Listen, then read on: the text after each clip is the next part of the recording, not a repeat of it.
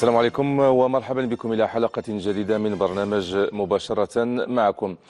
أعاد حدث تفكيك خلية إرهابية مكونة من سبعة أفراد تنشط بين ضواحي الدار البيضاء وشفشاون ووزان نهاية الأسبوع الماضي. أعاد إلى الواجهة نقاش الإرهاب والخطاب المتطرف ببلادنا. هي فرصة لنناقش أبرز ملامح هذا الخطاب كيف بإمكانه أن يستقطب الشباب خصوصا وشحنهم يعني في مجموعة للقيام بعملية إرهابية. ونتساءل كذلك عن دور مؤسسات التنشئة سواء الأسرة والمدرسة والإعلام وغيرهم في التصدي والوقاية من الخطاب المتطرف والعنيف. ولهذا يسعدني أن أناقشه هذا المساء مع كل من سي محمد عبد الوهاب رفيقي المعروف بأبي حفص باحث في الدراسات الإسلامية متخصص في قضايا التطرف والإرهاب. مرحبا بك معنا. أهلا وسهلا سي جامع. شكرا على الدعوة مرة أخرى. شكرا على قبولها. أستاذ رشيد جرموني دكتوراه في علم الاجتماع متخصص في علم الاجتماع الديني.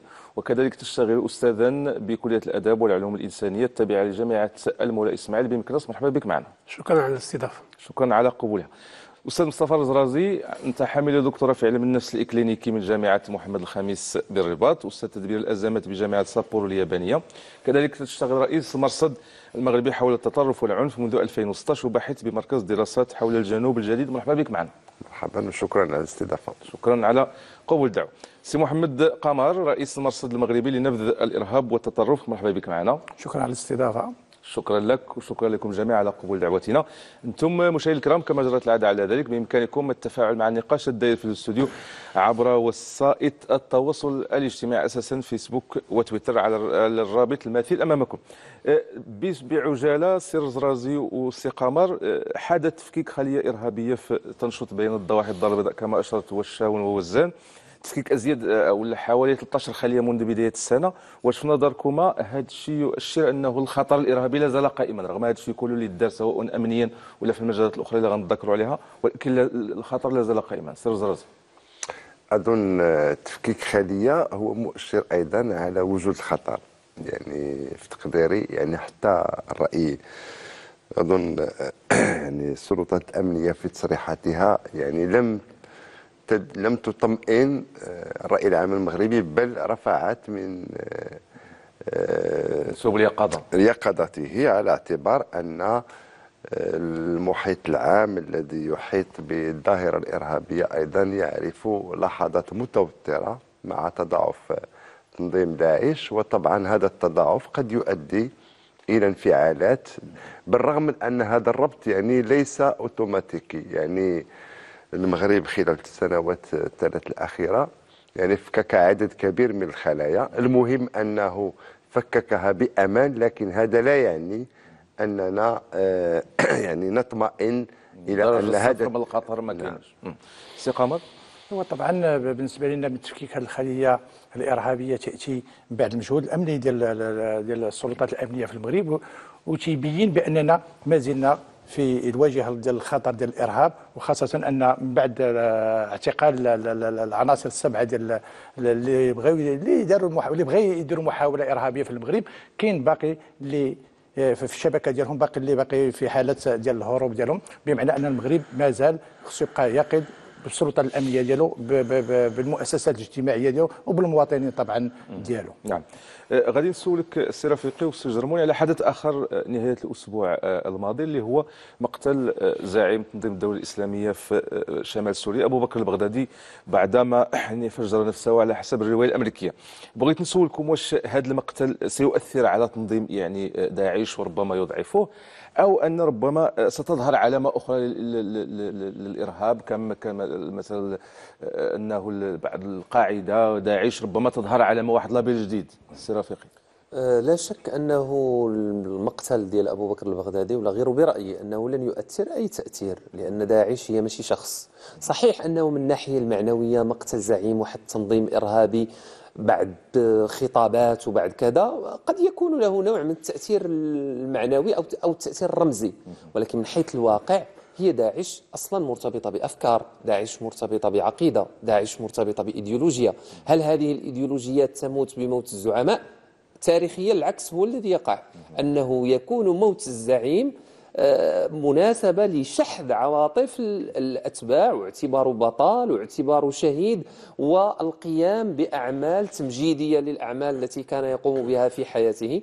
وبالتالي أنا صحيح ولكن غير هو واحد النقطة هو أنه مقتل أبو بكر البغدادي ما جاش في عز القوة ديال داعش. باش غادي نقولوا شكون الخليفة ديالو كيفاش غيتعين شنو غادي يوقع. هو جا في تلقت- تقهقر. آه، تقهقر داعش. إنما بالنسبة لي تنشوف أن وجوده أو عدمه مقتله أو حياته لن يؤثر على الفكرة. سي جرموني؟ الحق يعني الموت أو القتل ديال الزعيم يعني هو في الحق هو يؤشر على أن هناك تراجع لهذا التنظيم ولكن في نفس الوقت هو هذه قضية القتل بهذه الطريقة التي سمعنا عنها والتي لا زالت خيوطها لم تتوضح بشكل كافي ولكن عموما سوف يثير اعراض يعني مضادة وأيضا آه، ربما سيعيد انتعاشة هذا هذا التنظيم. لماذا؟ لأن هناك زعيم كما قال الأستاذ عبد الوهاب. يعني فعلا هذه هذه القضية مواجهة العنف بالعنف المضاد هو فيه فيه فيه نقاش. لكن أعتقد بأن القضية أبعد من شخص وهي ممتدة لأن هذه الظاهرة عالمية ليست ظاهرة مرتبطة بشخص هي مرتبطة بأفكار وهذه الأفكار تسري وهذه هي خطورتها. وبالتالي يجب أن نتوجه إلى قتل هذه الأفكار قبل أن نقتل الأشخاص. نعم. أه، طيب. أه، غندوزو للمحور ديال النقاش حول ال- ال- الخطاب المتطرف ولا الفكر المتطرف وهذا أه، نسولك السر الزرازي بداية ملي كنتكلموا على التطرف واش كاين؟ أنه مثلا يكون شخص متطرف ولكن ليس عنيف وكاين شخص متطرف عنيف واش كاين شي فرق بيناتهم؟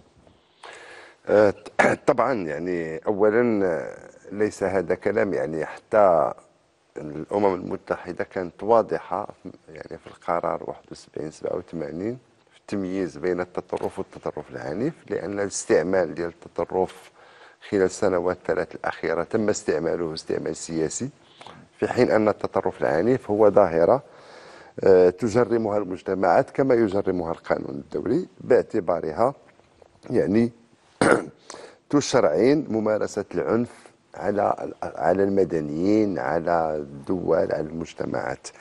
هذا المستوى القانوني على المستوى ربما أكثر آه، واقعية آه، يعني التطرف العنيف هو النزوع نحو آه، الخروج اولا عن كل شرعية وبناء شرعية ذاتية سواء كان فرد أو جماعة مع بناء مجموعة من الأهداف التي يدعي أنه سيدافع عنها. أحيانا أنا أميل جدا إلى تسميه تعجبني وهي البلاك ويزدم يعني الحكمة السوداء.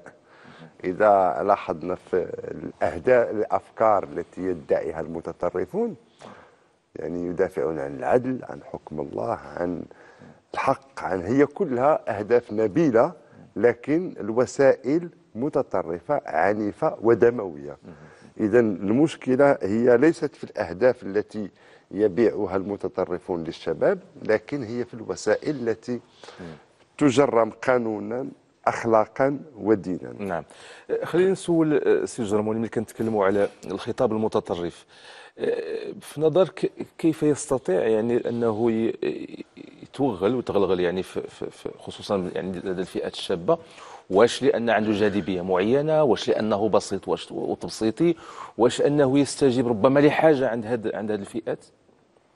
وفي البداية أنا أؤكد على مسألة أن هذه الظاهرة هي ظاهرة عامة وشاملة وتخترق مجموعة من الفئات وليس فقط فئة واحدة معينة كالشباب أو كالمهمشين كال- وكذلك الرجال والنساء. الرجال والنساء وأيضا حتى حتى المستويات الاقتصادية السوسيو اقتصاديه للمجتمع نجد أغنياء. و- ولكن هناك اعتبارات في بعض الحالات سيكولوجية الذين يعني نفسية التي يتقبلون بها قضية الإرهاب والأستاذ آه، أقدر مني في الحديث عن هذه القضية. كاين هنا- هناك إشكال عندنا في المجتمعات نعيشها حتى المغرب. إشكالية ال- الهوية يعني هويه هويتك من أنت كيف تتفاعل داخل هذا الكون؟ إشكالية المعنى. في بعض الأحيان يفتقد الإنسان المعاني أو المعنى الذي من أجله وجد من أجله هو كائن. كمواطن كإنسان إلى آخره في- فيطرح هذه المسألة. ثم هناك بعض الحالات التي تجد نفسها في حالة ضيق عواز هشاشة وتجد ال- هاد المخاطبين الذين هم ليسوا بال- بالمناسبة يعتمدون على الحامل الديني أو على الخطاب الديني لتمرير آه، رسالتهم لهؤلاء لكي يدخلوا في هذا التنظيم. لا هم يعتمدون على خطاب قد قد يبحثون عن ما ما ما, تعيشه كأزمة. اشكاليتك في بعض الحياة في بعض الحالات قد تكون مرتبطة بالوصول إلى منصب الوصول إلى إلى زواج الوصول إلى أن تحقق يعني بيتا. باختصار يعني ل- لشي شي شي خصاص ولا شي رغبه وحتى شي- على هذه ولا. يملأ فراغا. صحيح حتى أكيد على هذه القضية. هناك 300 شريط فيديو التي تم آه، يعني متابعتها من طرف التنظيم. بحثوا عن الخطاب المروج لهؤلاء الفئات.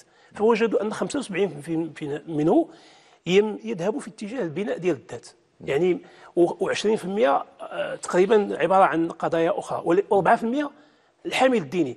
بمعنى آخر يتصيدون يعني فرائسهم وهؤلاء ال- الذين يستقطبونهم. لكي لأنهم يعيشون مآزق معينة وهذه قد تقع في أي لحظة من أي مجتمع وهنا خطرها وهنا خطر وبالمناسبة هم هذا التنظيم معه له اليات دقيقة جدا لأن ال- في الإنترنت هناك ثلاث مستويات مستوى الذي نتفاعل فيه نحن المواطنون العاديون هناك مستوى لبيع بيع الأسلحة وهناك مستوى للإرهاب. وهذا المستوى خطير جدا قد يستجمعون معلومات عنك أو عني أو عن أي شخص انطلاقا من فيسبوك. فيعرفون أنك في حاجة إلى المال فيتدخلون من أجل أنه يمكن أن يحل لك إشكالية أو قضية الزواج وهذه هي التي آه، ترفع هذا الأعداد الذين ينتسبون إلى التنظيم. نحن في المغرب عندنا رقم يصل إلى 2000 أو 600 أو 1600 ليس هناك تدقيق شديد ولكن في هذا في اوروبا 5000 تنظي- 5000 شخص. وبالتالي أن ال- الأعداد التي يستقطبونها هي تؤشر على قلق متزايد. نعم. نسول السي رفيقي والسي والسي قمر على هذا الخطاب. نفس السؤال تقريبا اللي وجهته للسي جرمي بصيغة أخرى. واش هذا الخطاب خطاب التطرف والاستقطاب يعني ديال هذا الفرائس كما شار لهم الأستاذ جرموني واش لبساطته لرونقه لجماليته أو لا لأنه يستجيب واحد الفراغ معين كاين في الشخص. هو لا شك اولا إلا سمحتي لي سي. جامع غير عندي تعقيب على قضية التطرف والتطرف العنيف بما أنكم ذكرتوها. صحيح أنه كما قال الأستاذ الرزرازي الأمم المتحدة وفرقت بين التطرف العنيف والتطرف ولكن خصنا نتنبهوا لواحد المسألة مهمة برأيي أنا. راه لا يمكن أن يصبح الشخص متطرفا عنيفا إلى ما داش عبر مرحلة التطرف.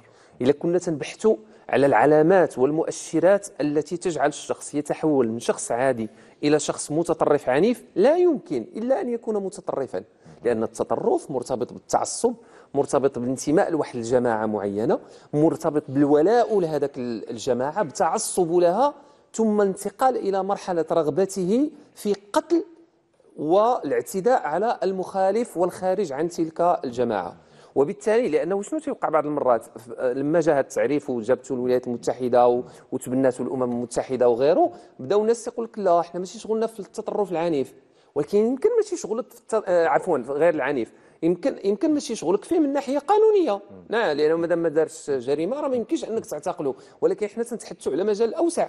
تنتحدثوا على وقاية المجتمع من التطرف. تنبحثوا على حماية الشباب من التطرف. إلا كنتي تتكلم على حماية الشباب والوقاية ديالهم ضروري أنك تتكلم على التطرف. الذي هو الوسيلة الأولى والدرجة الأولى التي بها يصبح متطرفا عنيفا. علاش هذاك الشاب بين عشية وضحاها تيتحول من شاب عادي تيتحول هو أنا أتفق مع الأستاذ الجرموني في أنه لكل شخص حالته الخاصة واحد الفراغ خاص. ولكن عاوتاني ما نهملوش الوضع العام أو أو الشروط العامة اللي هي على كل شيء اللي هي ما مرتبطه بالحالات بالحالات الخاصة واللي هي في الأخير تؤدي إلى أن ذلك الشخص يتحول إلى متطرف. هو أصلا من الأول عنده قابلية للعنف وهذه مشكلة عند بزاف ديال الشباب بزاف ديال الناس في المجتمع ماشي حتى شباب باش ما نظلموش الشباب بوحدهم. كاين نوع من التطبيع مع ثقافة العنف في المجتمع ماشي بالضروري نهضروا على الموضوع اللي حنا تنتكلموا فيه الإرهاب يقدر يكون. مثلا في الجريمة الحضارية الجريمة شغب العادية في الكرة آه. في الكرة في الشوارع في ما يسمى بدائره التشرميل العنف ضد المرأة آه، في ال- والأطفال. في المدارس العنف يعني أصلا هو علا- علاش هو عنده هذا العنف؟ لأنه الآن تنعيش واحد حالة تطبيع حتى في وسائل الإعلام في غيرها في الألعاب الإلكترونية الموجودة اليوم كاين هناك نوع من التطبيع إلى العنف. وبالتالي هذا التطبيع اللي عند الشخص مع العنف زائد خطاب تحريضي زائد إغراءات زائد وعود زائد الحالة الخاصة اللي تكلمنا عليها لما تيجتمعوا ما نساوش عاوتاني عوامل أخرى أننا تنعيشوا واحد الحالة ديال ديال استقالة وسائل التنشئة الاجتماعية اللي ممكن نهضروا عليها بعد،. استقالت نهائيا عن أداء أدوارها لا مدرسة لا تعليم لا كل شيء. الاحتقال الاجتماعي الأحزاب السياسية لا تؤدي الدور الذي يجب أن تقوم به. راه هذه العوامل كلها لأن ما لأن ما, نقدروش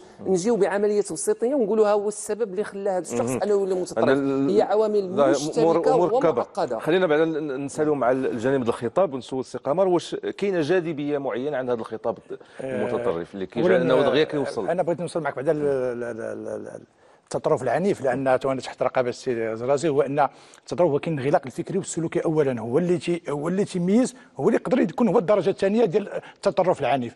بمعنى أننا تيكون انغلاق فكري وسلوكي هو الدرجه اللي يمكن أنها تديك التطرف العنيف ومن خلاله أنها ممكن في السلوك في ال- ال- ال- في السلوكي الأولاني هو يمكن أنك تست- تستغل من طرف الشبكات ومن طرف دعاة ديال التطرف وديال ديال التعصب. بمعنى أن المتطرف دا- دائما تعتبر نفسه هو عنده الحقيقة المطلقة وتعتبر أن كل مخالف لهذا اللي هو هو بمعنى آخر تشيطن كل ما ويكف- يخالفه يكفر ويشيطن. بمعنى آخر أننا في, في, في, في, الجاذبية ديال هادشي هو كاين عوامل كثيرة.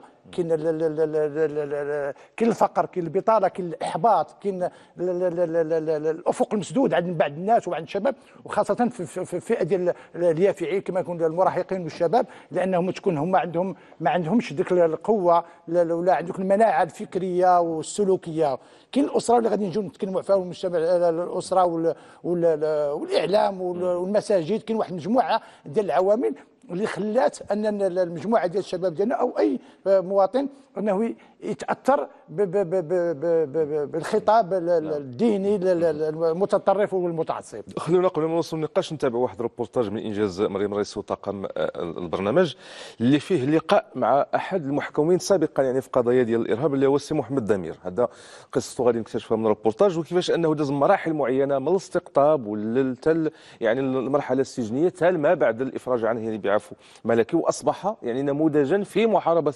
التطرف من خلال جلسات آه، مصالحه اللي شارك فيها جزء منها الاستاذ مصطفى الرزازي نتابعوا هذه الشهاده هذه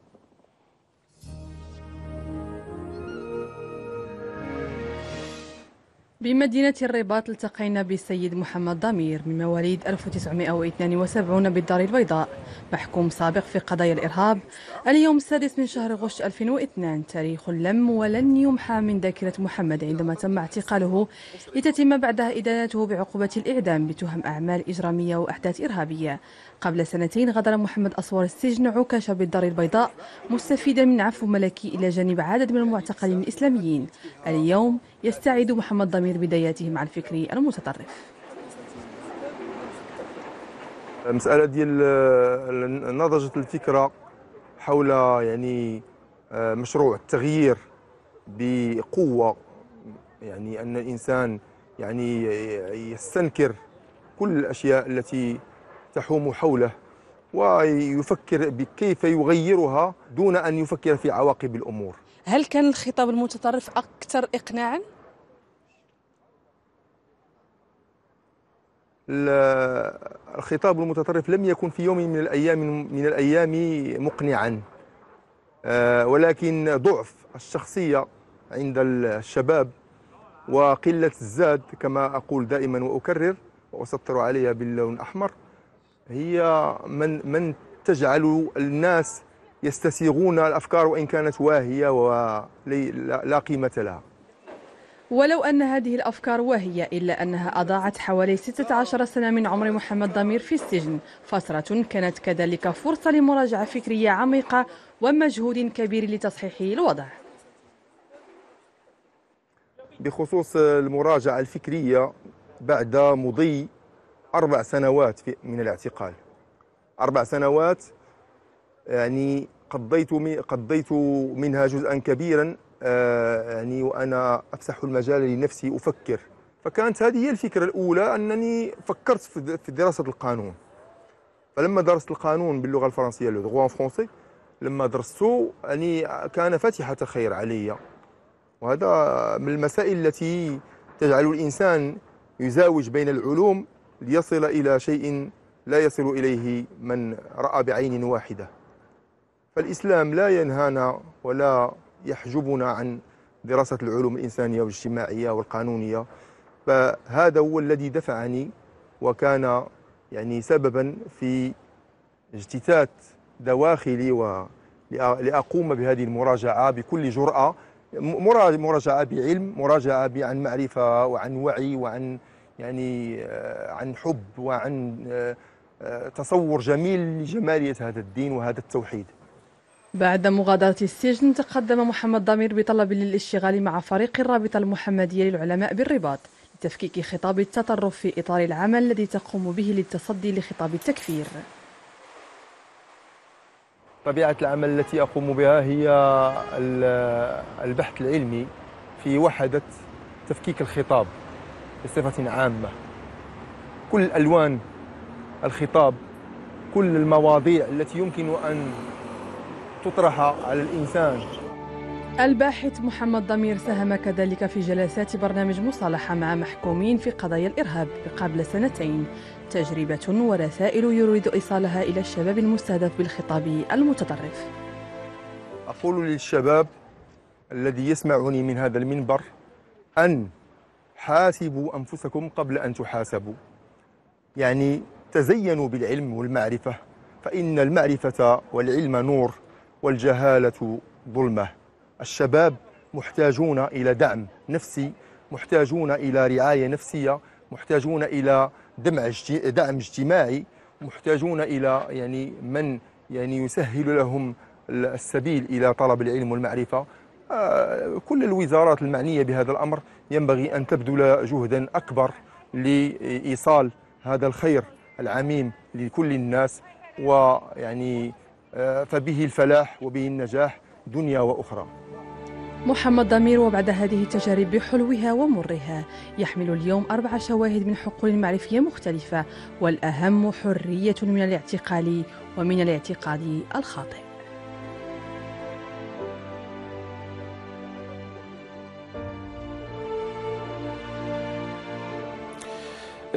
نبدا بك السي رفيقي واحد مجموعة الكلمات يعني وردت بشكل كبير في الشهادة ديال السي محمد ضمير يعني الزاد العلم المعرفة والانفتاح على يعني حقول معرفيه أخرى. كاين بعض شوية الشبه مع التجربة ديالك واخا ما كتبغيش أنت اللي نرجعك لهذا الشيء ولكن ربما أنه عندما ينفتح الإنسان على حقول معرفية أخرى ويتعمق في العلم يعني عاد كتوصل المقوله ديال العلم نور بصح. هو لا ما عنديش مشكلة أنني نرجع لها بالعكس أنا أحب استثمارها في المجال الذي نتحدث عنه وتنتحدث عليها مرارا وتكرارا. علاش؟ لأنني تنشوف أولا شهادة جميلة ومؤثرة ديال السي محمد دمير. أه، وجه الشبه فيها هي بالضبط ما تحدث عنه هي سبل المعرفة ولكن باش نكونوا واضحين في هذه القضية هذه. كم هي نسبة هؤلاء الذين اعتمدوا على المعرفة للخروج من الأنفاق التي حشروا فيها لأسباب مختلفة؟ شحال هي النسبة ديالهم؟ قليلة جدا. علاش؟ نقول لك علاش. لأنه مثلا في الحالة الشخصية ديالي ولا في الحالة ديال السي محمد دامير كان واحد الزاد معرفي أصلا آه، قديم سابق. آه، سابق. اعتمد عليه. أنا مثلا دخلت وأنا وأنا كنت وأنا عندي الماستر هو أيضا كان عنده عدد من كان الجو العائلي ديالو أيضا فيه نوع من الثقافة ونوع من كذا ساعدته. وبالتالي كان عندك نوع من الأدوات والوسائل التي ساعدتك على أنك تنفتح هذاك الانفتاح وعلى أنك تحرر من كل الأفكار وعلى أنك تقتحم هذاك الطريق ديال المعرفة. ولكن الغالبية الكبيرة اللي معتقلة في مثل هذه الملفات ما عندهاش هذه الآلية هذه أنا كنت تنقول لهم دائما بأنه أهم حاجة ممكن ديروها مع الناس المعتقلين وخصوصا في هذه الملفات أول شيء هي التعليم. دخل داخل السجن ودير له التعليم وتابع له الدراسة ديالو تكون دراسة حقيقية ماشي دراسة شكلية وتابع له الدراسة ديالو. ونقول لك علاش. لأننا انت انت باش تنفتح هو هو أنا ما نتفقش مع السي محمد. في واحد الفكرة هي أنه الخطاب الإرهابي خصوصا الديني منه ماشي بديك البساطة. ماشي زعما غير شي حجج تافهة واهية. آه راه تقلب الدماغ ديال الإنسان. وتطرح بصورة إقناعية جدا بحيث أن الناس اللي فيها لا يرون الحق من غيرها. اذا شنو باش تجي أنت؟ وتقول بأن مثلا آيات الجهاد وآيات القتال موجودة في القرآن. كيفاش تفسرها له هو عطاها له هذاك السيد كما هي آمن بها اقتنع بها. أنت باش غتفسرها له كما تنفسروها؟ أن هذه الآية لها سياقات ولها أسباب نزول ويجب معرفة مآلاتها ومعرفة مقاصدها.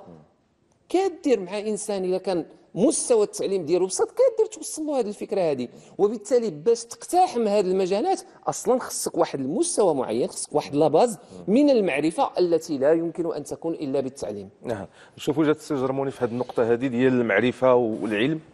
هو في الحقيقة لابد أن أشير لمساله مهمة جدا لأنه طبيعة الظواهر هذه تحتاج مقاربة أننا نقربها شمولية. والإرهاب هو مجتمعي. ما نبتعد عن الأشخاص لأن الحالات ديال الأشخاص هي قد تكون متكررة ولكن البيئة والبنية والسياقات هي اللي كتجعلنا أننا فعلا. يوقع لنا هذا الارهابي أو يوقع استقطاب ديال هاد الناس الذين يصبحون في حاله معينة إرهابيين وخطيرين على المجتمع وأنا يمكن لي نذكر لك أنا متفق مع هذه المسألة ديال المعرفة لأن من خلال الدراسات اللي اللي على الأقل طلعت عليها واللي نجزتها أنايا هو أنه كاين وقع لنا واحد ال- المساله مهمة جدا هو أنه وقع لنا تغير في عملية استمداد المعارف خصوصا المعرفة الدينية. كانت هذه شحال المدرسة الأسرة المؤسسات اللي هي كانت على عقي مثلا القراوي إلى مع هذا التحول اللي وقع لنا في المجتمع ديالنا السريع وإلى غير ذلك وقع لنا واحد النوع من الخلخلة. كذلك المد الوهابي. فعلا هادو هادو عوامل أيضا أخرى دخلت العوامل ديال اللي كانت في الثمانينات. إمكانيات مادية يعني صحيح صحيحه خصوصا على القضية ديال ديال الثمانينات التي كان المغرب يعيش فيها واحد النوع من التحول. فعلا هادو عوامل مهمة جدا شكلت لنا واحد المعرفة اليوم أصبحت عندنا دينية إما نجدها مختزلة وبسيطة جدا. لا. لا تمكن الشاب أو الشابة أو الإنسان المغربي أو بعض الأفراد أنه ي- يكون عنده القدره على النقد وعلى وعلى عملية التصفية ديالها أو أننا كنوجدوا واحد المعرفة نوعا ما تشكلت خارج هذه السياقات اللي هي تأتيه من الخارج وتعطيه فكرة أنه إما فكر آه، الإرهابي إما الفكر العنفي وإما تأويل للنصوص الدينية والحديثية التي فعلا تؤدي ب- بالإرهاب. لكن أنا كنعتقد بأن ماشي فقط هذه مسألة أخرى مرتبطه بها. هو الواقع اللي كنعيشوا فيه هو الشباب اللي كي اللي كيتم التصيد ديالو مسألة الحقره ملي كيجي الشاب والديه كيبقاو يخطيو فيه يقولوا له ما كتصلح انت شي حاجة وانت ما تصلح شي- هذا الشاب هذا اللي. امتلأ حقرة بالمعنى باللغة ديال المغاربة كيوجد نفسه في واحد اللحظة أمام أنه أي واحد ممكن ينتشلو فإذا كيعطي واحد الخطاب كيقول له ممكن نشلك من هذه العملية هذه اذا دخلتي معايا أو لا التحقتي. كيعترف به بعدا كيولي معترف به هذه هذه اساسيه لأن لأن هذا كما قلت قبيلة كيدخلوا على المسألة ماشي من من دائما الحمل الديني الحمل الديني كيمشي من بعد. أولا الإنسان مثلا القضية ديال السجن وأنا متفق معك السي. مثلا الناس النازل المحقور الذي قضى السجن ديالو ولكن بعد ما يخرج واصبح أنه المجتمع رفضه المؤسسه رفضه عنده واحد التهمه وعنده واحد السجل العدلي ديالو مسخ كما يقال.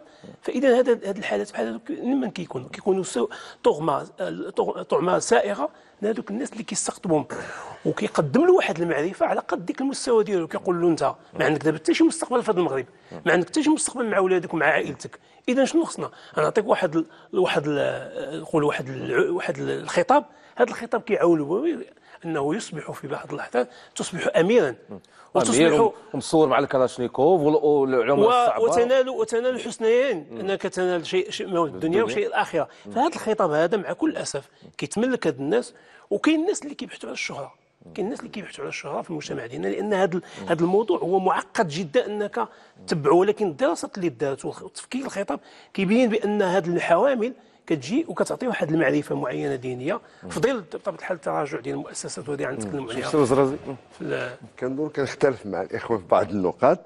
أولا فقط أنا كاين واحد المساله جد مهمة نصحوها أو جد مهمة حتى يعرفها الراي العام.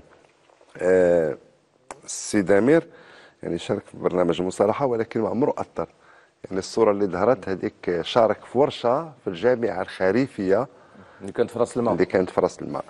آه، لأن المبدأ اللي تبناته المندوبية العامة لإدارة السجون حسب علمي هو أنه ال- ما يسمى بالجهاديين ولا السلفيين ولا المعتقلين السابقين لا يشاركون في تأثير البرنامج. دورهم ممكن يكون وقائي لا بريفونسيون ولهذا الدور ديالو مع الرابطة ومشاركته داخله في الجانب الوقائي فعاليات المجتمع المدني. هذه جد مهمة لأن مذكرة روما يعني اللي كان صدرها المنتدى ديال مكافحة التطرف. يعني كان شر هذه المسألة والمغرب دار تأويل الخاص اللي تيناسبه ومن بعد ما تبدا التجربة بأن يعني كاين مجموعة ديال السجناء تيرفضوا أن سجين سابق يأثرهم داخل السجن خارج السجن كلام آخر. سي أبو حفص كان عندنا نقاش طويل في هذا الموضوع وتلعب دور وقائي خارج السجن جد مهم كيف تلعبوا السجن فقط بترجع لواحد النقطة. هو الدور ديال المعرفة جد مهم لكن غير كافي لأن اذا نظرنا للديموغرافية ديال الناس اللي متطرفين ذكرتي 1600 كاين جيلين كاين واحد الجيل محسوب على السلفية الجهادية اللي كان المعرفة هي المدخل للتطرف. وكاين جيل آخر اللي لا شفنا أكثر من 82% ما كملوش حتى المستوى ديال التعليم الثانوي. يعني اللي عند اللي اللي التحقوا مثلا بتنظيم الدولة الإسلامية من المغاربة عندهم شهادات جامعية ما كتجاوز واحد 7% اذا حتى على مستوى تأطيرهم داخل السجون يعني في البرامج اللي كتشرف عليها الدولة المغربية كنظن كان تك... كان واحد البرامج متكافئة اللي راعت هذا الجانب. كاين جانب المعرفة كاين التكوين الديني كاين التكوين الحقوقي كاين التكوين في مجال حقوق الإنسان. لأن مدخل حقوق الإنسان جد مهم أيضا الجانب ديال الكونية والعالمية ديال القيم وكاين المصاحبة النفسية وكاين اعداده كيفاش يأكل طرف الخبز من اللي يخرج. معنى التأهيل السوسيو مهني ما بعد الإفراج. من بعد الإفراج. المسألة اللي شار لها شرتي لها وجد مهمة. يعني مسألة الحقرة ومساله أنا كنظن المدخل ديال التطرف فين كاين؟ كاين بجوج تقديري الشخصي. كاين الدور الاعتباري اللي تيعطيه الفكر المتطرف. واحد ما عنده ما يدار فاشل مع كل احترام يعني عاطل ما قراش إلى آخره على الهامش ديال المجتمع. المجتمع تيهمشو للأسف. غير معترف به ما كاينش كيجي. واحد تيدخلو تيقول له أنت عندك دور اعتباري في إنقاذ هذه الأمة. عندك دور اعتباري في إعادة العدل. عند من بعد تسميه أمير من بعد تسميه كذا. طبعا هذا الدور الاعتباري جد مهم.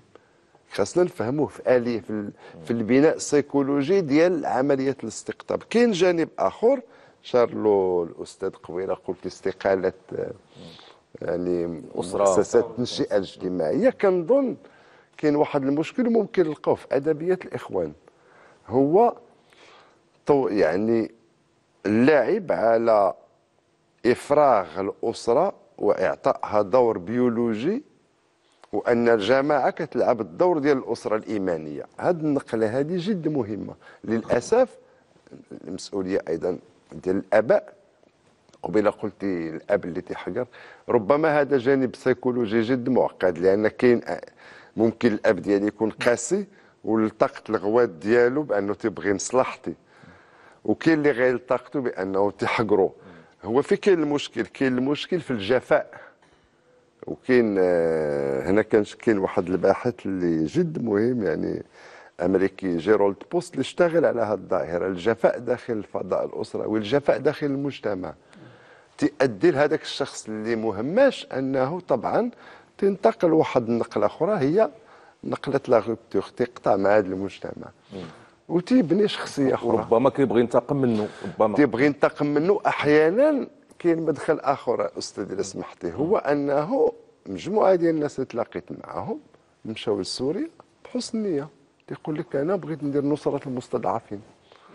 مع الأسف مؤسسات ديال التنشئة والتربية والإعلام ما أثرتش هذه المسألة. كانت المؤسسات يعني بين قوسين الرسميه ديال العلماء في العالم الإسلامي اللي دعت الشباب أنهم يلتحقوا بالصحة بالصحه السوريه لحسابات. معقدة. سي قمر آه، أنا من بعد غنطرح لكم واحد السؤال لأن آه، خلي السي قمر وجهة نظره في هذه النقطة واحد السؤال مشترك اللي فيه هذه العوامل كلها ولكن كتبان بعض المرات غير مقنعة يعني 100% سي قمر ايوا طيب أنا بالنسبة لي الروبورتاج هو تيعطي إشارات قوية ديال ال- ال- ال- أن الإنسان ديال أن التوبه وتوبة التوبه النصوحه تعتبر في هذا الإطار هذا. ولكن أنا تعتبر أن مثل هذه هذه العمليات هذه ديال ال- التوعية داخل السجون والاستمرارية والمصاحبة خارج خارج من بعد ما يخرج السجن. ولكن اللي اللي خص المسؤول لأن هذا الشيء كله متناسق بعضياتهم خلينا الأسرة وال- وال- والاعلام وواحد المجموعة ديال الأشياء اللي مرتبطة اللي ممكن أنه وحدة فيهم تقدر تدير لك كل شيء بمعنى يقدر واحد يكون في الأسرة مزيان عنده آه الطفل عنده ذاك التوازن الوجداني وعنده وعنده ال- الآليات الدفاعية ال- الفكرية عن واحد المجموعة ديال اللي. لك بعثات أجنبية وتيكون هذه المسألة لهذا خص حنا لأن كاين واحد المجموعه ديال المراكز ديال الأبحاث كاين مجموعة ديال المنظمات اللي تهتم بهذا المجال ديال التوعية وديال التحسيس وديال صد هذا ال- ال- ال- الهجوم الإرهابي ولا الفكر الإرهابي والتكفيري ولكن ما كاينش تنسيق اللي يخلينا نديروا استراتيجية مدنية. بمعنى أننا ملي تنكون تنقولوا المغرب ها الاستراتيجيه المدنيه ها المجتمع المدني ها الأسرة كيفاش خصها تكون المناهج التربوية غنجيو لهذا الشيء؟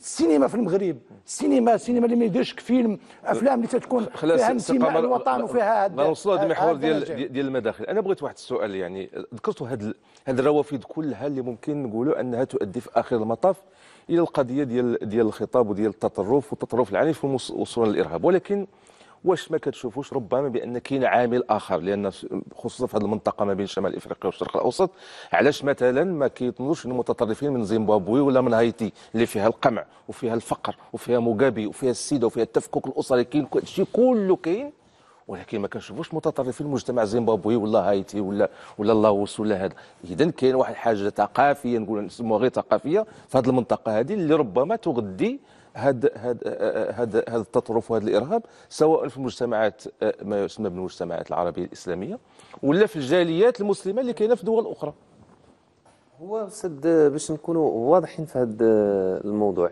هذيك الصورة النمطية أو التحليل النمطي ديال الهشاشة والفقر وهذا تنظن حتى بقاش الآن هاد. أصبح متجاوزا الآن لأننا شفنا لأننا شفنا خصوصا داعش كسرات هذا هذا التفسير هذا. شفنا ناس مشاو من الدنمارك وشفنا ناس مشاو من السويد وشفنا ناس مشاو من أوروبا وشفنا ناس من المغرب أيضا اللي كانوا تيعيشوا أقل شيء أقل شيء أنه تعيش في مستوى متوسط.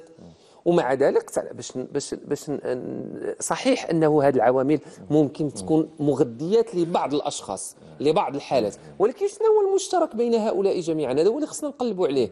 شنو هذوك كاملين فقيرهم والغني ديالهم واللي متعلم وغير متعلم ضروري كاين واحد الناظم اللي انضم بيناتهم كامل.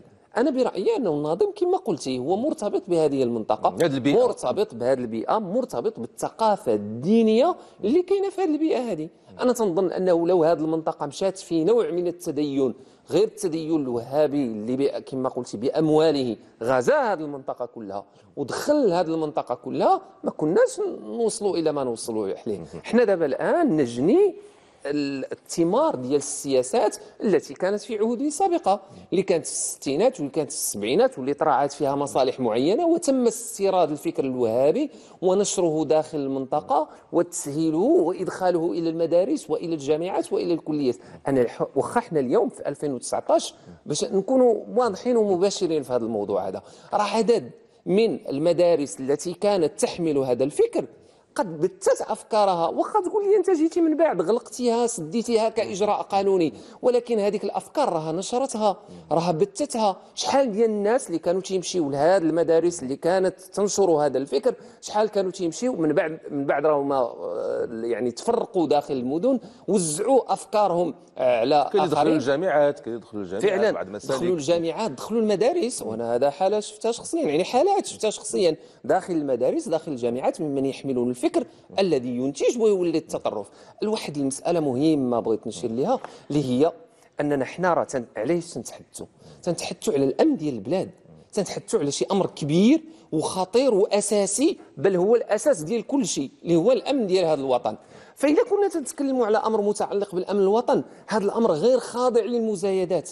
لا مزايدات سياسية ولا غيرها لأنه شنو تيوقع؟ أحيانا لا يلتفت إلى النتائج وهذا الموضوع تيدخل في مزايدات سياسية. تجي مثلا المدارس ال- أو أو مراكز أو شنو ما عرفتش شنو نسميها اللي هي محاضن ومشاتل للفكر المتطرف وتدخلها في مزايدة سياسية. واش نحلها لك باش تساعدني في الانتخابات ولا ما تساعدنيش في الانتخابات ولا بغيتي راه نسعى لك. وهذا الشيء وقع للأسف الشديد انه أنه وقع علما. أن هاد هاد هاد هاد المحاضن اللي نشرات الفكر المتطرف في المغرب كله كان يجب أن يتخذ ضدها إجراء حازم. خصنا شوية ديال الحزم في التعامل مع الموضوع. حنا تنشوف انه لأن دابا دابا السلطات الأمنية الجهات الأمنية ها هي تت كل مرة تت- تكتشف خلية. ودابا هذا الشيء راه تصور راه بمعدل تقريبا خلية في الشهر. 12 خلية في السنة. وراء هذاك الجهد الأمني اللي هو الوحيد اللي تنشوفوا أنه جهد إلى اليوم جهد متكامل جدا.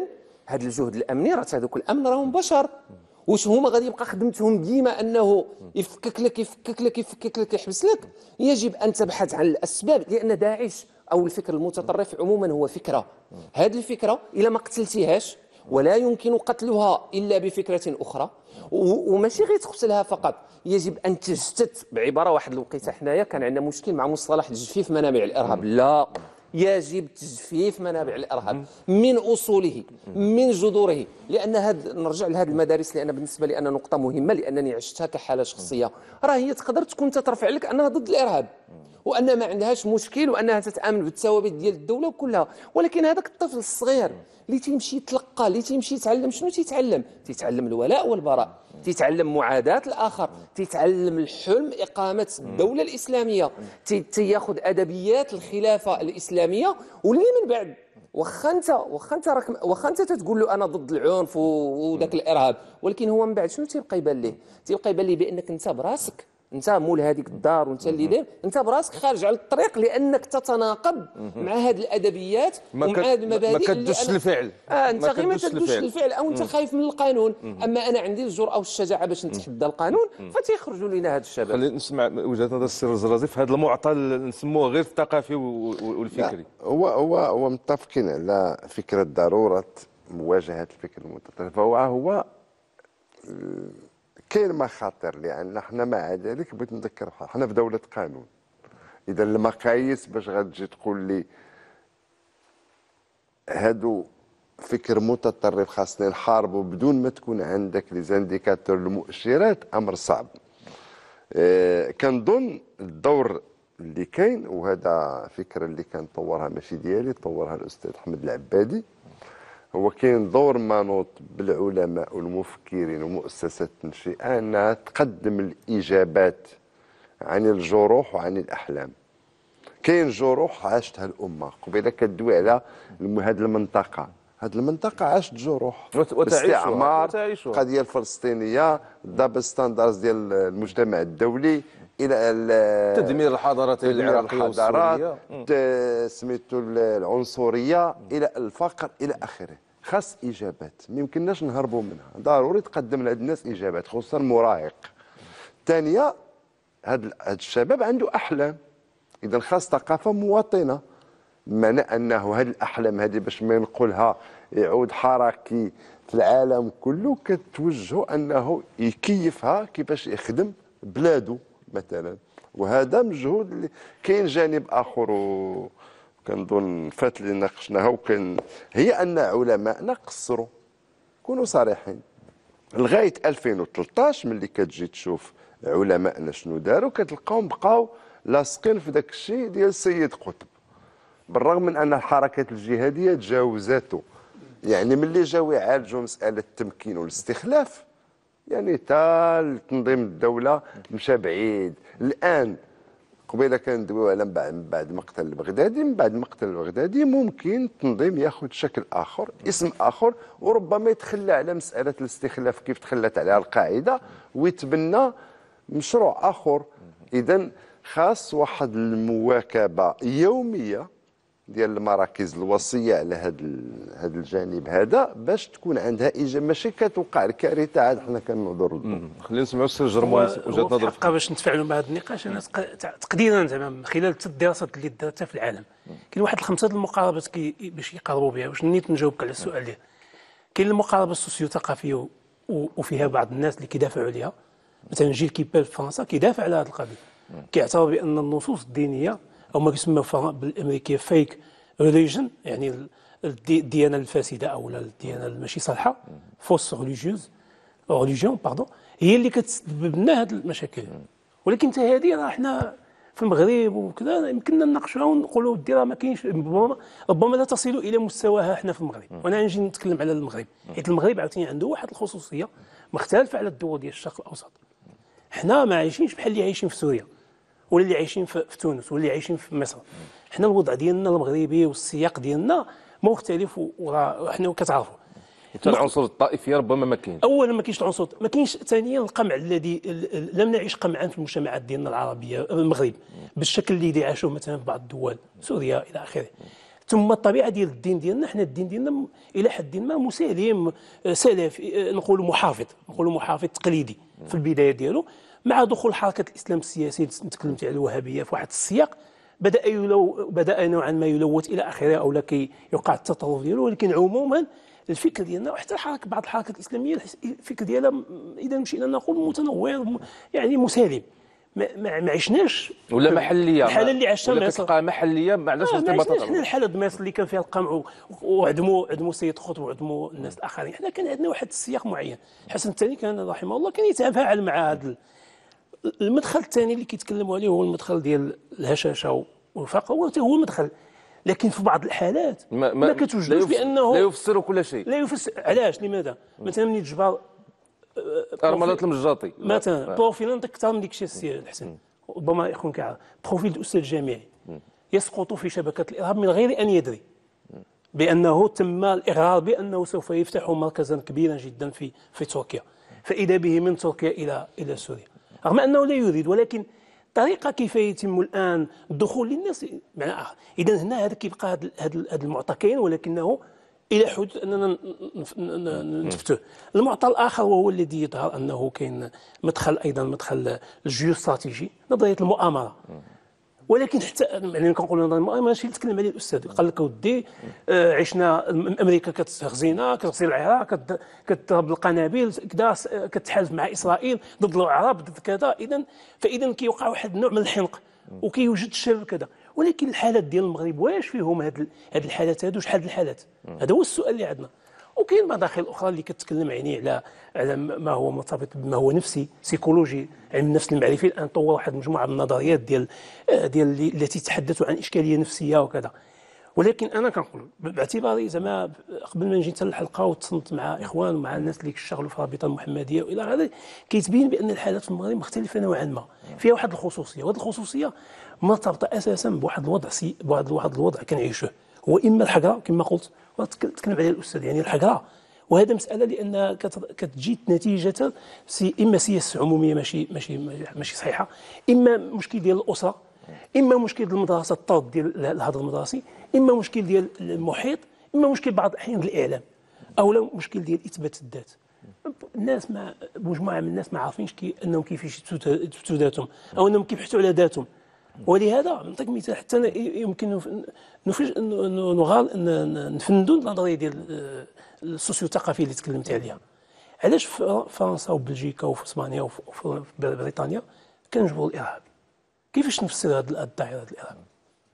واللي يكفي يكفي أنا عندي عندي أرقام. أنا عندي 3689 حالة اللي وقعت ما بين أمريكا وفي ما بين 2001 و 2015 كاينة مسألة مرتبطة أساسا بالتمثل ديالهم. بأنهم كيبحثوا على على واحد الأحلام حلم. أنه يصبح واحد الأحيان أنه كان مسيحي بروتستانتي كاثوليكي ويصبح مسلما ولكن هذا المسلم سوف يصبح له الشهاده شرف شهادة إلى آخره. بمعنى آخر عندنا واحد ال contexte ديالنا المغربي هو اللي تكلمت عليه الاحتياج النفسي الحقرة وقضية ديال إثبات الذات. وهذا هما الدراسات اللي داروا على هذه العينات اللي كانت عندنا في المغرب. واللي المدخل الديني كيشكل اي واحد الجزء فقط بسيط. ولهذا يعني نتكلموا على المشاكل اللي مرتبطة أساسا بالأسرة واش حنا في الأسرة المغربية كنتحاوروا مع مع مع ولادنا في هذه القضايا هذه نعم أكيد. واش في المدرسة كنفتحوا هاد هاد لي ديبا في هذه القضايا اللي هي ذات الطبيعة اللي ما عندهاش؟ نقلتينا لهذا لهذا لهذا المحور الأخير ديال ديال المقاربات والحلول ذكرنا شوية الدراسة وهذا هذا. نبدأ بك السي قمر. ربما يمكن نقولوا يعني مؤسسات التأطير اللي كنا كنعرفها واحد الوقت من من أحزاب من تنظيمات من جمعيات من غيرها. واش كتشوف أن مازال عندها ربما ما, تق... ما ربما آه، تقدر تقوم به لمحاصره هذا هذا الشيء اللي الظاهره اللي كنتكلموا عليها. وقبل ذلك كان كاين واحد المسألة أخرى وأنا تحت الرقابة ديال الأستاذ زرزرازي أنا دائما تنقول تحت الرقابة ديال الأستاذ هو أننا خوفي أننا آه، خوفي أننا من غير هذه التنظيمات المنظمة المحكمة اللي تتوجه اللي تدير أنا خاف من الذئاب المنفردة. الذئاب المنفردة وتأخطر.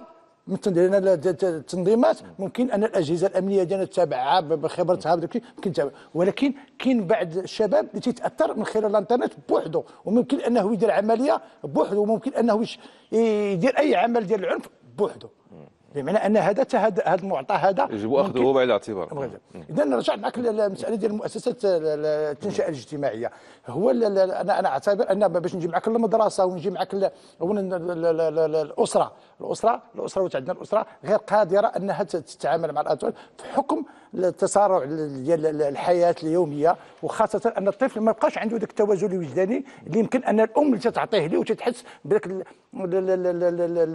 الامتلاء النفس ديالو بالحنان وبالعطف والخوف ديالو من من لأن تعتبر الأم ديالو هي الوطن ديالو هي ده بمعنى انه اوتوماتيكيا أن كاين الاحتفاظ بالهوية ديالو في الوطن ديالو.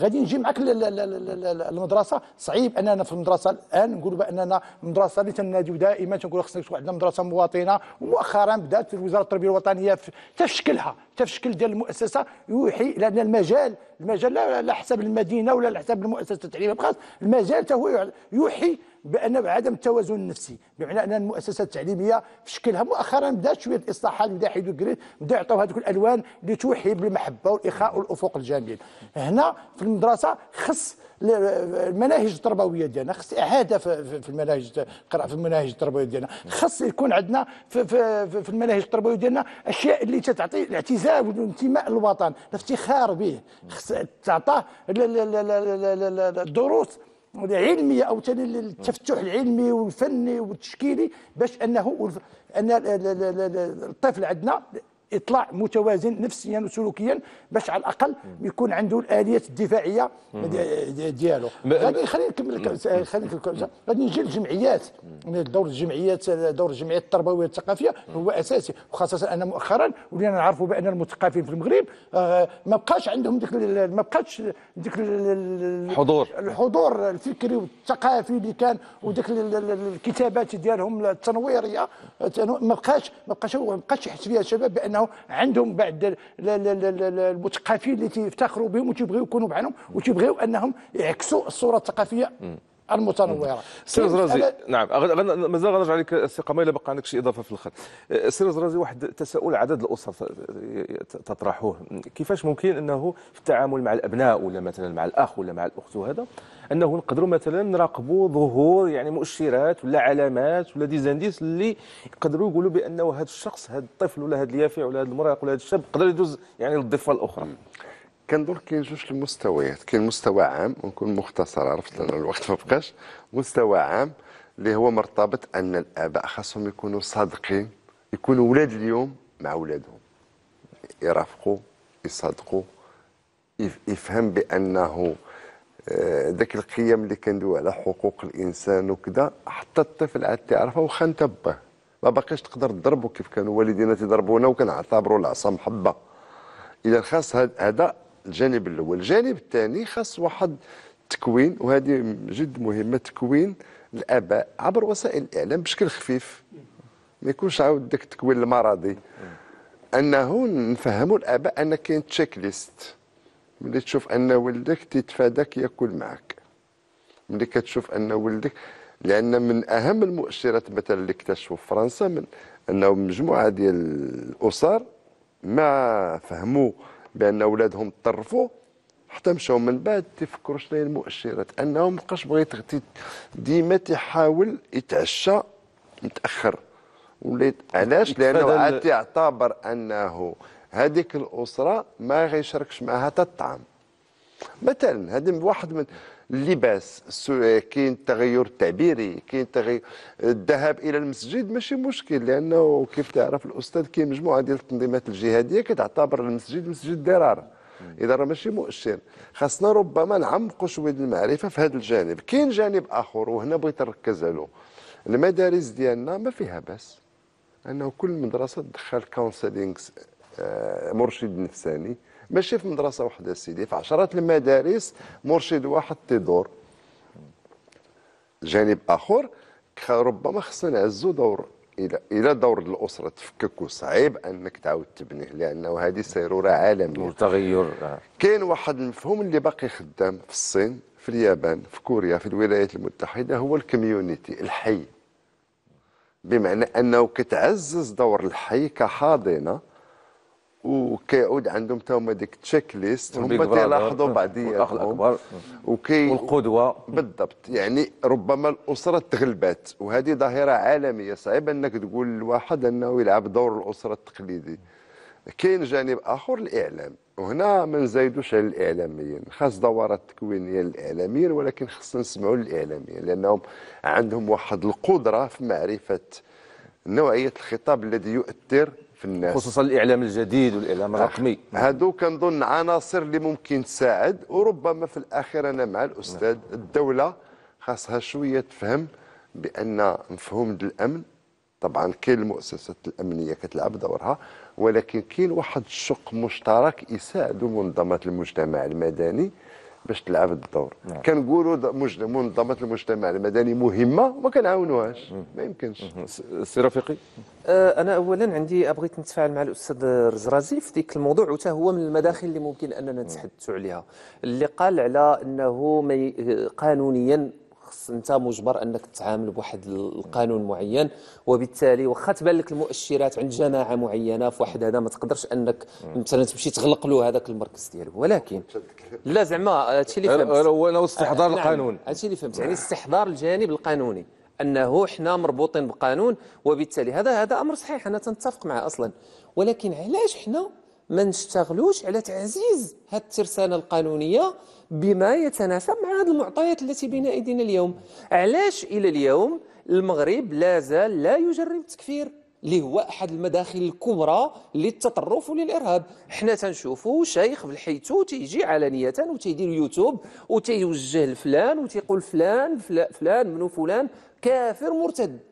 ووجه المؤسسات سواء مؤسسات إعلامية سواء مؤسسات سياسية بشكل مكشوف وعارف انه ما غادي كما هو تيقول أنا عارفه ما غادي يصوروا مني والو لأنه فعلا ما كاينش قانون يجرم التكفير. إذا لماذا إلى اليوم حنا مازالين لا نجرم التكفير وما عندناش قانون وتشوف وسائل التواصل الاجتماعي كلها تكفير ورمي بشتى التهم. هذه نقطة. النقطة الأخرى اللي بغيت نتكلم عليها هي قضية الأحزاب السياسية. الأحزاب السياسية استقالت عن دورها في هذا الباب. في هذا الباب بالخصوص يمكن آه، هو استقالة عامة ولكن بالخصوص في هذا الشق الذي نتحدث عنه. شحال عندنا ديال الأحزاب السياسية؟ وشحال تؤطر ديال الشباب؟ وهاد الشباب الذين لم تستطع هذه الأحزاب أن تؤطرهم شنو دارت من مجهود؟ كم هي المراكز الفكرية أو من الإنتاجات الفكرية من داخل هذه الأحزاب المتعلقة بخصوص ظاهرة التطرف وظاهرة الإرهاب؟ ما هي الجهود بحكم أنها هي عندها مسؤولية في داخل المجتمع؟ شنو الجهود اللي تتبذلها هذه الأحزاب من أجل محاربة هذه الظاهرة؟ لحد الآن أنا لا أرى إلا البيانات ديال الإدانة بعد كل عملية. نرجع للمدرسة اللي هي بالنسبة لي أساس. أنا تنتفق مع اللي قالوا الأساتذة كاملين بخصوص المدرسة. ولكن برأيي أن هذا غير كافي. علاش؟ لأن المشكل في المدرسة بالنسبة لي إشكال أكبر من أنك مثلا تدرس بعض المواد أو أنك تدخل مستشار نفسي أو أنك تعدل بعض المناهج الدراسية. راه المشكل في الطريقة البيداغوجية اللي عليها التعليم في المغرب لعقود من الزمن. علاش؟ لاننا حنا كما حنا قرينا وقراو بزاف ديال الناس شنو الطريقة اللي الطريقة ديال التعليم؟ حفظ سير احفظ وأجي اعرض وهذا بالضبط ما تريده التنظيمات المتطرفة. لأن التنظيمات المتطرفة تجيك تتلقاك واجد ذهنيا. ما تفكرش. ما تفكرش. ما كاينش السؤال ممنوع الأستاذ تتبغي غير تسألو شي سؤال تيقول لك اسكت الآن غتاخذ هذه المعلومات وغادي تمشي تحفظها ونهار الامتحان غادي تجي غادي غادي غادي تدوز فيها. تربية أجيال على هذه الطريقة ديال أخذ المسلمات عدم تربيتهم على الفكر النقدي عدم تربيتهم على السؤال ومسألة أخرى أيضا علاش بزاف ديال ديال البروفايلات ديال الناس اللي تورطوا في عمليات ماشي كلهم كما قلنا في الأول ماشي كلهم مستويات تعليم متدنية. كاين ناس اللي م- يعني عندهم مستوى تعليمي جيد.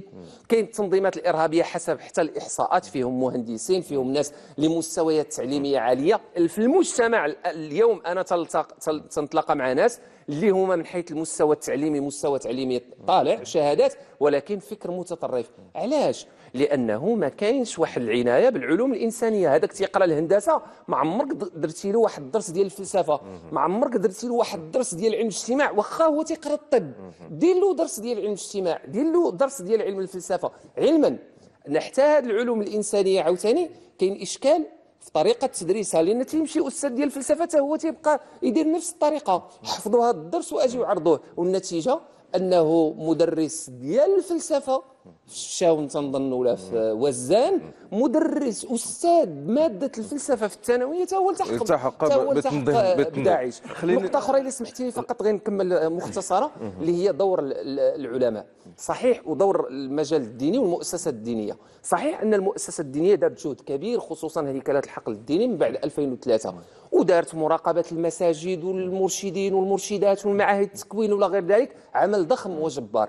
ولكن كاين واحد المستجد كبير جدا في العالم اللي وقع من بعد هذا الشيء كله اللي هو ظهور الفيسبوك واليوتيوب تكنولوجيا 2005 الدولة. 2006 وبالتالي العمل كله يجب أن يتجدد والخطاب كله يجب أن يتجدد وط- لأن ما يمكنش دابا شاب عنده 20 عام وحل عينيه على فيسبوك ويوتيوب وإنستغرام وسناب شات وتجي مثلا تتكلم معاه بنصوص فقهية أو تقول له الفقهاء قالوا أو الفقهاء ما قالوش. يعني لا, سواء لا في الخطاب ولا حتى في les formats يعني في حتى في الأشكال. الوسائل. نعم. حتى في حتى في حتى حتى في المضمون. واضحة الفكرة سي رفيقي سي جرمون. الحق أنا أنا عندي واحد المجموعة الملاحظات من خلال ما ولكن هاد هاد المداخل في الحق خصها واحد السياق عام أيضا. حنا كنتكلموا على النموذج التنموي في المغرب. خصنا هذا النموذج التنموي ي- ي- ي- يولي أصبح يعني نازل وطالع مع المجتمع كله. ولهذا هذا هذا هو الم- الم- المطلع. كانت مو جهود صحيح باش ما نكونوش يعني باحثين ما خصناش نكونوا كنمسحوا كما كيقولوا. آه. فإن كانت مجهودات ولكن بقات منعزلة بعض الأحيان. المجهود اللي دارته الرابطه المحمدية مؤسسة الرابطه المحمدية أو المجهود اللي دارت بعض المؤسسات في السجون مثلا على سبيل المثال كنقدروا نشيد بديك العمل. ولكن يجب أن أن يكون هناك واحد النوع من الانسجام. وأنا كنركز على مسألة جزء المسائل. إعادة النظر في القيم التي يتم بلورتها في المجتمع المغربي وعند الشباب. هذه المنظومة القيم وقع فيها تزعزع خصنا من واحد المنظومه القيم منسجمه مع هذا النموذج التنموي اللي كنتكلموا عليه. المواطنه حقوق الإنسان إلى آخره. وهذا خصو واحد المجهود كبير جدا ما خصوش يدار في واحد ثلاث أيام ولا ربع أيام داك الشيء موسمي وكنعملوه. لا خصنا نخدموا عليه واحد المدى طويل جدا. وأنا كنعتقد بان هذا آه، جزء منه. كاين واحد الرؤية كاين واحد القانون اطار ولكن يجب أن يتم تفعيله في هذا البعد لأننا لأن الإشكاليات اللي طرحت في هذا السياق اللي كنتكلم عليه في هذا الإشكال الارهاب بخصوص من المغرب لما نتكلم عن المغرب هو أن البناء ديال الشخصية. كنركزوا على المعارف كنركزوا على التقنية أن الإنسان يكون عنده تقنية يكون عنده معارف ولكن ما كنركزوش على الشخصية ديالو. وما كنركزوش واحد المساله أخرى هي مرتبطة بهذا البناء ديال الشخصية ديالو وكيف يعيش مع الآخرين. ولما إلا ما كنتش كتربي في الإنسان أنه يتبني الشخصية ديالو ويتعايش مع الآخرين. وأنا متفق معك ولكن شوف إلا عملتي فيها جوج الأشياء الصعبه ومتاكد بأنه واخا يكون الفيسبوك ولا هذا لأن الفيسبوك عالمي والإنترنت عالمي ولكن الشخصية هي اللي كنركزوا عليها وكنبيها لأن القيم والمدخل ديال. ثم واحد المساله أخرى وهي المهارات. كيفاش نبنيو مهارات عند الناس وعند الشباب ديالنا وعند الأفراد ديالنا؟ وحنا خصنا نحيدوا واحد القضية هو ان الدبلوم حيت الدبلوم لا يعني في نهاية المطاف شي حاجة. ولكن إلا عملتي الانسان مهارات معينة وبنيناها في مثلا في المجتمع المدني والدولة راعتها وعملنا برامج اللي أننا نبنيو مهارات الآن مهارات مثلا على الأقل الت- التكوين عن بعد ال- الدراسة عن بعد ال- ال e-commerce هذه الأشياء التي هي جديدة وتفتح لنا العولمة وهذه الوسائل التي يمكن لأن باش نخرجوا الناس من الأزمة ديال عدم عدم آه، وجود أي شيء. سي قمر باقي عندك شي إضافة مختصره في ثواني معدودة لأن الوقت فيما يخص أنا باقي نتركز على دور ديال المجتمع المدني في هذا في هذا في, في, في مناهضة الإرهاب أو نبذ الإرهاب. أنا تنعتبر بأن باش باش المنظمات الثقافية والتربوية تدير آه، عملها بشكل إيجابي وتحاول ترسخ القيم الكونية النبيلة وتحاول تربي الطفولة والشباب على القيم ديال الاختلاف وديال الإنصات وديال التنوع خص الدولة المغربية ولا الحكومة المغربية أنها تمد ال- ال- ال- الوسائل الكفيلة ل- باش تحقق هاد هاد شكراً. كل هاد هاد, هاد الأمور هاد. شكرا سي قمر. أستاذ جرموني والاستاذ رزرازي والاستاذ رفيقي أشكركم جميعا على قبول دعوتنا ونقاش هذا الموضوع هذا بالمساهمة ديالكم القيمه كل واحد من جهته. أشكركم جميعا. شكرا للمشاهدين الكرام على حسن المتابعة. إلى اللقاء في فرصة مقبلة. بحول الله.